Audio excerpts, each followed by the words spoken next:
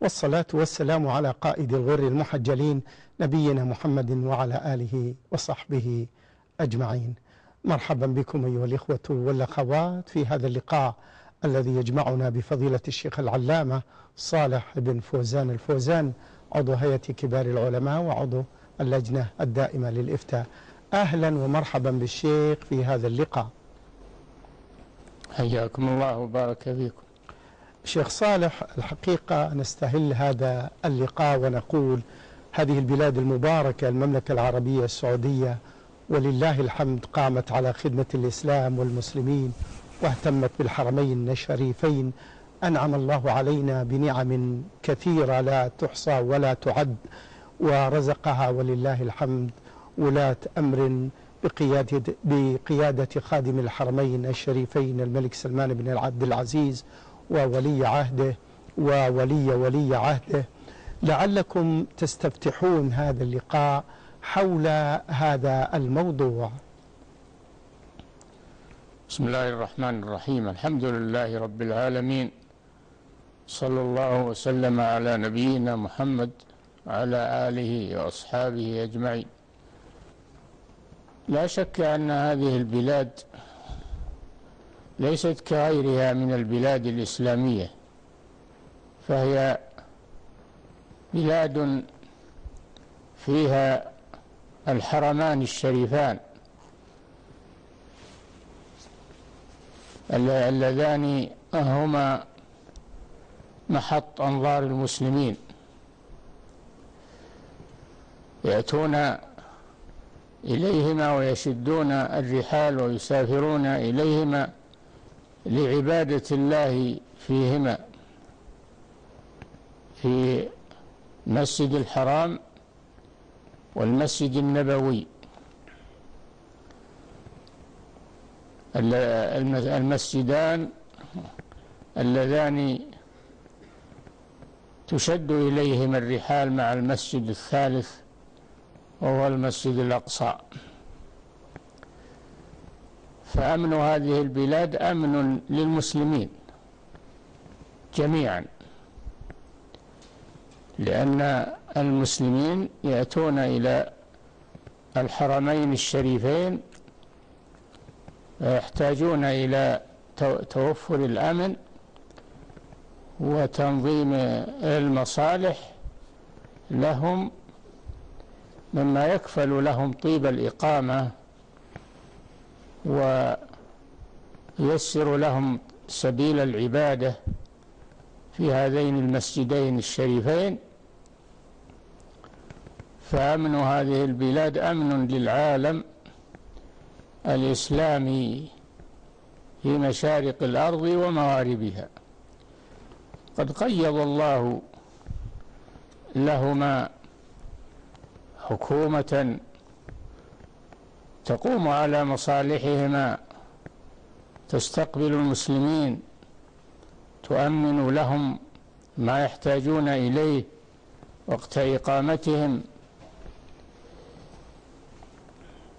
فحكامها ولله الحمد حكاما للمسلمين بواسطة هذين الحرمين الشريفين.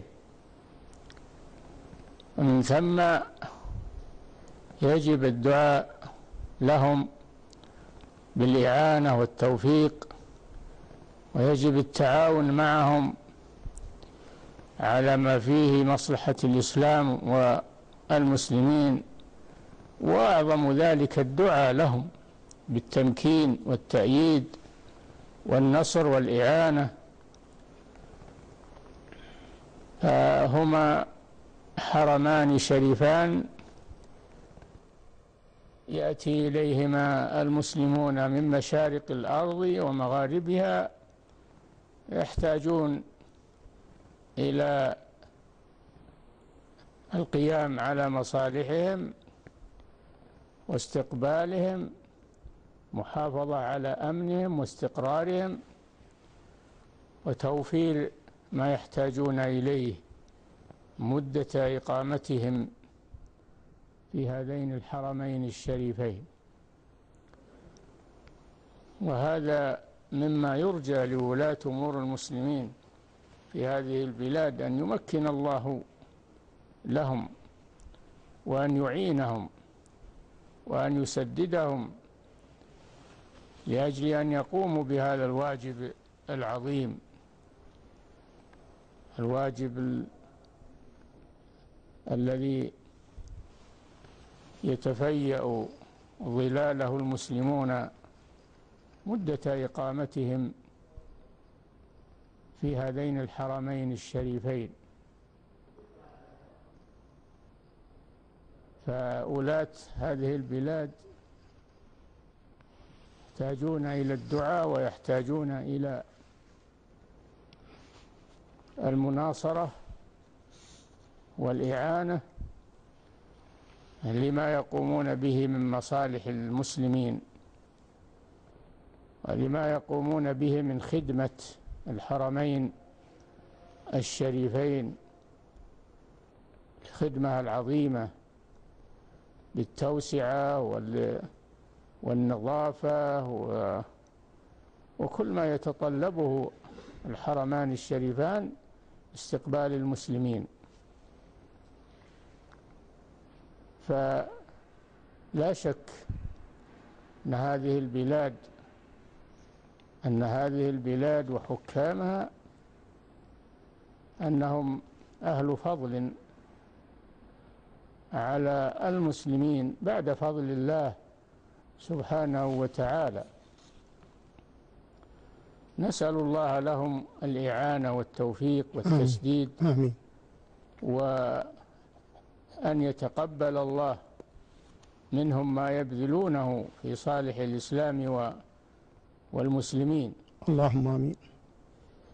ليتحقق فيهم قول الله جل وعلا ولينصرن الله من ينصره إن الله لقوي عزيز الذين إن مكناهم في الأرض أقاموا الصلاة وآتوا الزكاة وأمروا بالمعروف ونهوا عن المنكر ولله عاقبة الأمور. قال سبحانه وتعالى في هذا الحرم الشريف ومن دخله كان آمنا. يعني أمنوه أمنوه وذلك بحمايته وتمكينه من أداء العبادة ومنع العدوان عليه. فهذه مسؤولية عظيمة. ولهذا ترتفع كف المسلمين في الدعاء لولاة أمور هذه البلاد. الحمد لله.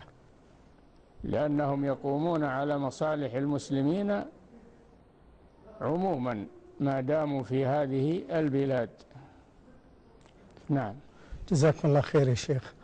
آه جنودنا البواسل الذين يرابطون على الثغور ويحمون هذه الحدود ويقومون بجهود مباركة في خدمة هذا البلد وفي رد الأعداء وكيد الحاقدين ما فضل المرابطة في سبيل الله لهذه البلاد وما كلمة الشيخ صالح لجنودنا هناك. كلمتنا لهم أننا ندعو لهم بالإعانة والتوفيق ونهنيهم أيضا بهذا بهذه الميزة العظيمة وهي حفظ ثغور المسلمين من من من الأعداء والذين يريدون بهذه البلاد شرا وهذا من الرباط في سبيل الله. رباط يوم في سبيل الله خير من الدنيا وما فيها كما جاء في الحديث جاء أن المرابط في في المرابط على بلاد المسلمين بحمايتها أنه إذا مات يجري عليه عمله إلى يوم القيامة. وهذا فضل عظيم شرف كبير. فعلى هؤلاء أن يحمدوا الله أن خصهم بهذه الميزة العظيمة وأن يعلموا أنهم في سبيل الله عز وجل. ما داموا يحمون بلاد المسلمين من تسلل الأعداء ومن كيد الأعداء فهم مرابطون في سبيل الله وعملهم من أفضل الأعمال. وقد بشرهم النبي صلى الله عليه وسلم بأنهم بأن رباط يوم خير من الدنيا وما فيها. وأيضا إذا مات المرابط في رباطه يجري عليه عمله إلى يوم القيامة وأجره وثوابه. نعم.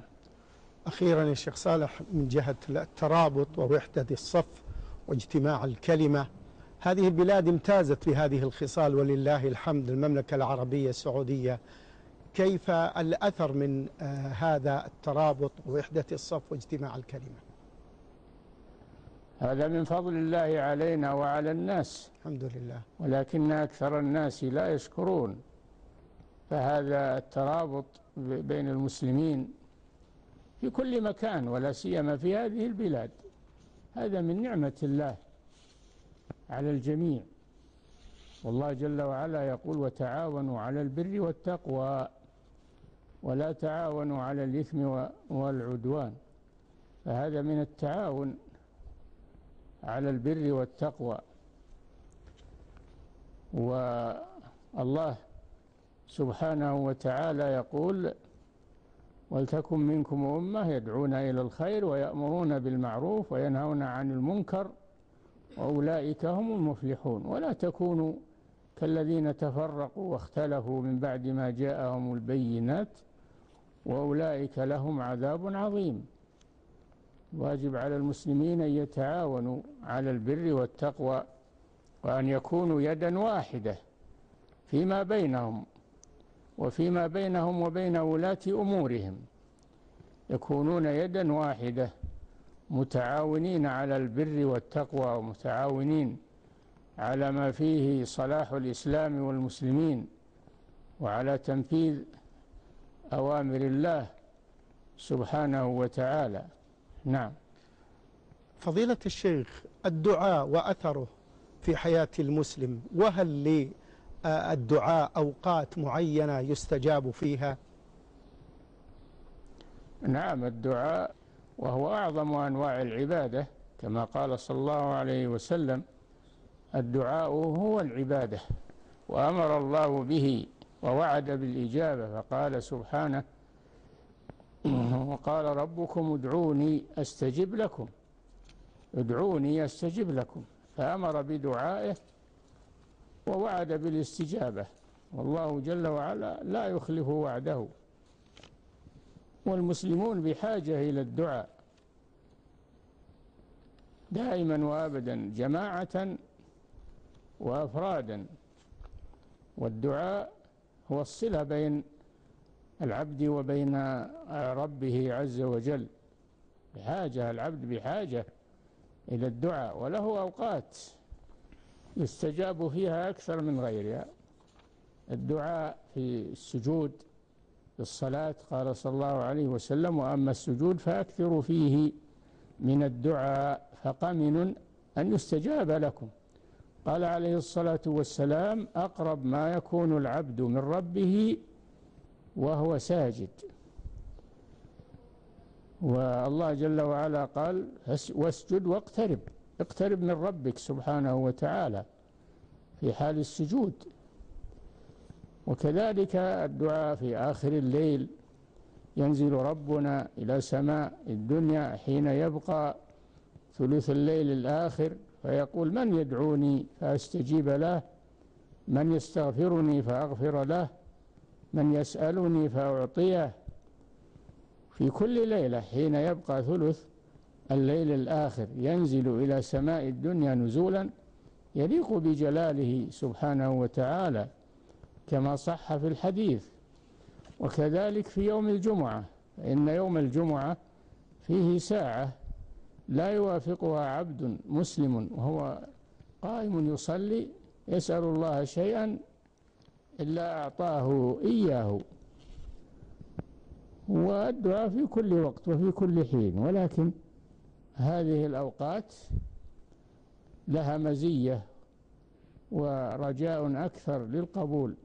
نعم. أحسن الله إليكم. ورد سؤال فضيلة الشيخ من سائل يقول ما فضل سورة الفاتحة؟ وما فضل تكرار آه، هذه السورة على المريض؟ وهل هذه السورة تكفي فقط عند صلاتنا بدون سورة أخرى بعدها؟ هذه السورة سورة الفاتحة هي السبع المثاني والقرآن العظيم الذي أوتيه نبينا محمد صلى الله عليه وسلم. قال سبحانه ولقد آتيناك سبعا من المثاني والقرآن العظيم. فهي السبع المثاني وهي القرآن العظيم الذي أوتيه نبينا محمد صلى الله عليه وسلم. وهي سورة عظيمة وهي أم القرآن. هي أم القرآن وهي آه، ركن قراءتها ركن من أركان الصلاة فريضة أو نافلة. لا بد من قراءتها في الصلاة فريضة أو نافلة. وقراءة ما بعدها من القرآن هذا سنة ولكن قراءة الفاتحة هذا فريضة ركن لكل ركعة لقوله صلى الله عليه وسلم لا صلاة لمن لم يقرأ بفاتحة الكتاب. وهي دعاء كلها دعاء دعاء أولها دعاء عبادة وآخرها دعاء مسألة فهي تشمل على الدعاء بنوعيه. نعم. في الآية الكريمة لا تحزن إن الله معنا. ما المقصود في المعية هنا؟ وهل للمعية أقسام؟ هذه هذه الآية نزلت في كو في حالة كون النبي صلى الله عليه وسلم في كون النبي صلى الله عليه وسلم وصاحبه أبي بكر في غار في غار ثور حينما اختفيا فيه عن المشركين الذين يطلبونهم ليقضوا عليهم ويمنعوهم من الهجرة واللحاق بأصحابهم في المدينة. الله سبحانه وتعالى حمى نبيه وصاحبه حينما جاء الكفار ووقفوا على هذا الغار. فقال أبو بكر رضي الله عنه خائفا على رسول الله صلى الله عليه وسلم يا رسول الله لو نظر أحدهم إلى موضع قدمه لأبصرنا. فقال صلى الله عليه وسلم يا أبا بكر ما ظنك باثنين؟ الله ثالثهما. وأنزل الله جل وعلا إذ يقول لصاحبه لا تحزن إن الله معنا. وهذه المعية معية نصر وتأييد وإعانة. المعية على قسمين.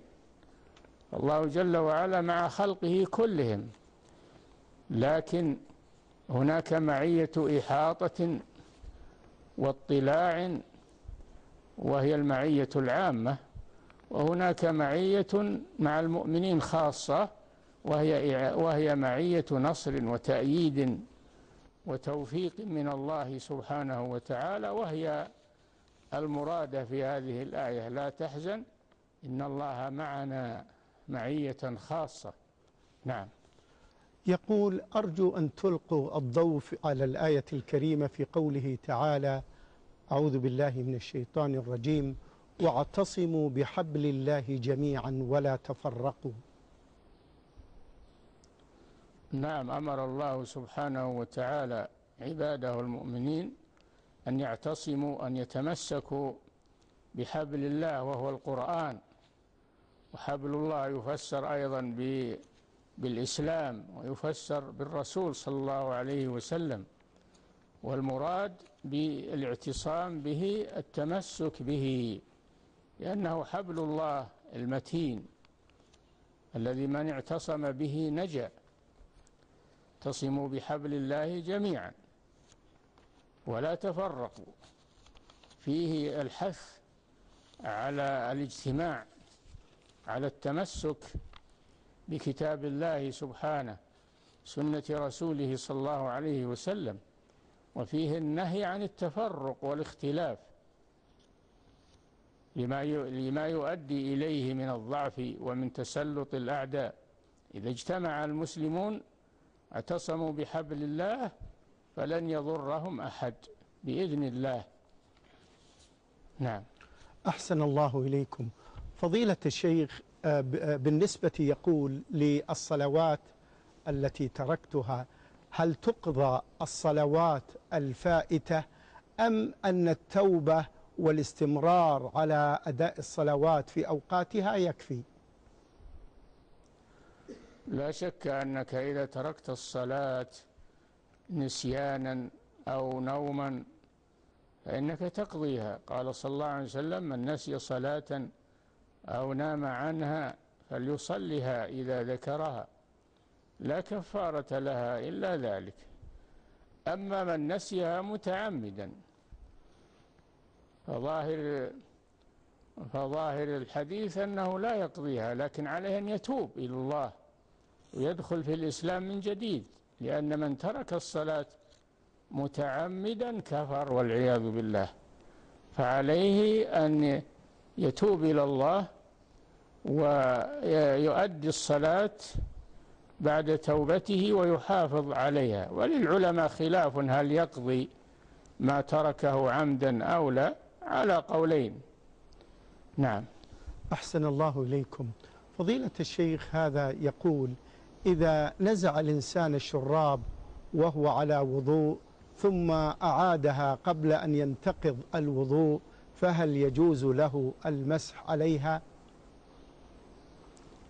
إذا نزعها قبل قبل بداية المسح عليها يعني توضأ ولبسها ثم نزعها قبل أن يحدث وينتقض وضوءه فإنه يمسح عليها.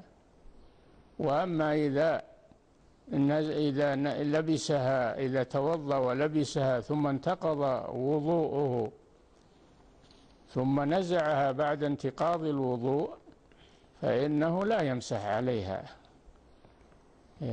لا يمسح عليها بناء على ما مضى وإنما يتوضأ من جديد ويمسح ويغسل رجليه ثم يلبس ثم يمسح آه، مستقبلا. نعم. فضيلة الشيخ هذا السائل يقول آه، عند الغبار بعض الناس وأئمة المساجد جمع المغرب والعشاء. هل هناك شروط لجمع الصلوات في غير المطر؟ ما ورد أنه يجمع لأجل الغبار. إنما الذي ورد الجمع فيه ثلاث حالات إما في السفر وإما في المرض وإما في حالة المطر بين المغرب والعشاء أو حالة الدحض والطين الذي يكون في الطريق إلى المسجد. هذه الأحوال يجمع الأحوال الثلاث. أما الغبار ما ورد أنه يجمع من أجله. نعم. أحسن الله إليكم. فضيلة الشيخ هذا سائل يقول آه لي مبالغ مالية آه عند شخص وعندي زكاة وهذا الشخص تأخر علي في دفع هذه الأموال. هل أقسم الزكاة من هذه الأموال عند صديقي؟ الواجب أن تزكي مالك الذي بيدك والذي هو دين في ذمم الناس. إلا إذا كان هذا الدين على معسر أو على مماطل ولا تدري هل تحصل عليه أو لا فهذا لا تزكيه حتى تقبضه. وأما إذا كان الدين على على موسر وباذل ملي على إنسان ملي وباذل فإنه يجب عليك أن تزكيه كل ما مضى عليه حول ولو لم تقبضه ولو كان في ذمة المدين لأنك واثق من حصولك عليه إذا طلبته. نعم. أحسن الله إليكم. يقول ما الفرق بين الحديث آه القدسي والحديث النبوي؟ الحديث القدسي ما كان لفظه ومعناه من الله. سبحانه وتعالى.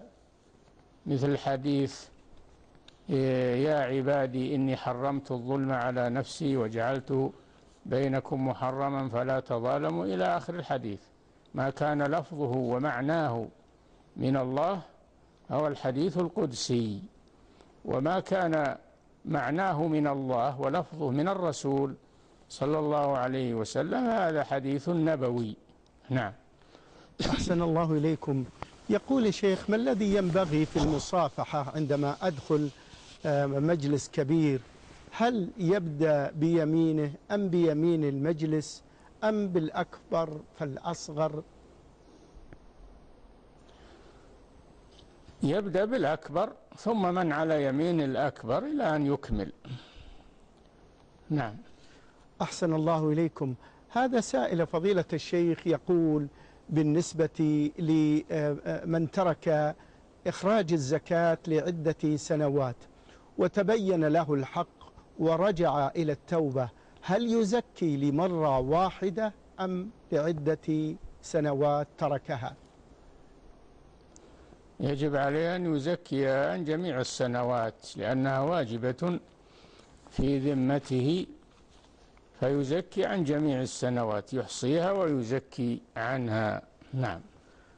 هذا سائل يقول يا شيخ بالنسبة لطالب العلم هل يأخذ العلم من الكمبيوتر والإنترنت أم من حلق المساجد والعلماء؟ نعم هو الأخير. العلم لا يؤخذ إلا بالتلقي عن العلماء الثقات ولا يؤخذ من المتعالمين. ومن علماء الضلال ولا يؤخذ من الأوراق أو من الكمبيوترات أو ما أشبه ذلك. نعم هذه يستفاد منها يستعين بها الإنسان في طلب العلم لكن لا يعتمد عليها ويقتصر عليها ويظن أن هذا هو طلب العلم. هذا خطر شديد يخرج الإنسان وهو يظن أنه عالم وليس بعالم. لأن هذا العلم إنما يؤخذ بالتلقي عن أهله جيلا بعد جيل. نعم. أخيرا نختم هذا اللقاء بسؤال لأحد الإخوة يقول يمر علي وعلى أولادي شهور طويلة لا نمس لا نقرأ من المصحف فهل نكون آثمين بذلك شيخ؟ تقرؤون القرآن في الصلاة وتقرؤون ما يمر على المسلم. يوم إلا وقد قرأ في القرآن على الأقل في الصلوات. وما زاد عن ذلك فهو خير ونعمة من الله سبحانه وتعالى. يعني جود علاقتك في القرآن الكريم ولا تبتعد عنه وخذ حزبا منه كل يوم حتى تختمه. لتكن علاقتك مع القرآن مستمرة يا أخي لا تغفل عن القرآن. نعم. شكر الله لكم الشيخ صالح وبارك الله فيكم وفي علمكم ونفع بكم الأمة الإسلامية على ما بينتم وعلى ما طرحتم من كلمات مضيئة في هذا اللقاء الطيب المبارك. شكرا للزملاء في مكتبة الشيخ محمد عبد العزيز الحامد ويزيد بن محمد الماضي أشكر زملائي معي هنا في استوديو آه، آه، الرياض آه، ناصر القمي وبقية الفنيين من المخرجين ومساعديهم ولكم الشكر والتقدير على تفضلكم بمتابعة هذا اللقاء. نلتقي على خير إن شاء الله والسلام عليكم ورحمة الله وبركاته.